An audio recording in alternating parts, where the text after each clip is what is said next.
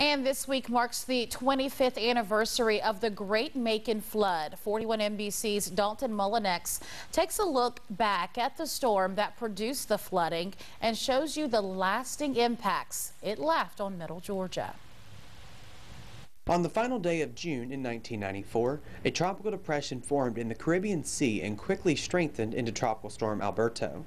A few days later, Alberto made landfall near Destin, Florida. The coastal impacts were minimal, but the torrential rains were felt in parts of Georgia and Alabama. The remnants of Alberto moved from the Gulf Coast up through southeast Alabama and into the metro Atlanta area before stalling out and then tracking back over the already soaked communities. The slow-moving storm dropped over a foot of rain in parts of middle Georgia.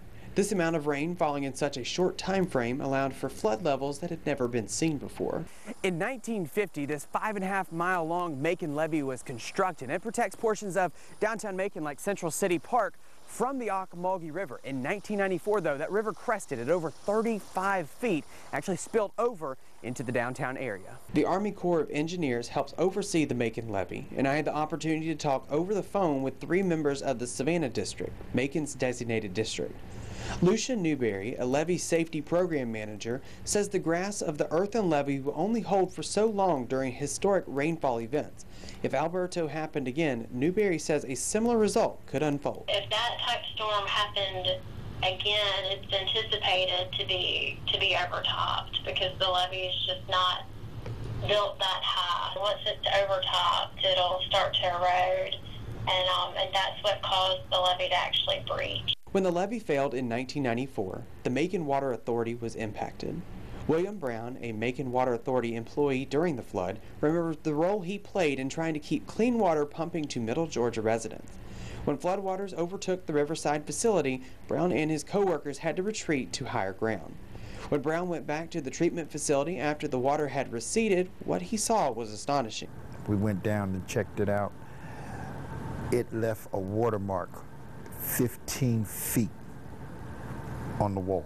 Gary McCoy, the current director of water operations for the Macon Water Authority, echoed the same sentiments as Brown. We never imagined that the water level would get so high that it would flood the whole entire uh, building and make, and we was out of water for 19 days. Employees worked tirelessly trying to restore clean water to their customers. After the flood, the Macon Water Authority knew it was time to build a new water treatment plant so that this event would never play out again. In July of 2000, the Amerson Water Treatment Plant was opened and ever since has provided Macon Water Authority customers with clean water. Although the facility is 19 years old, McCoy still has glowing remarks about it. It's still a state-of-the-art plant and we're still producing a great product, uh, quality of water. Reporting from Macon, Dalton Mullinex, 41 NBC News. The Macon levee is inspected every two years and the next inspection will actually be conducted this month.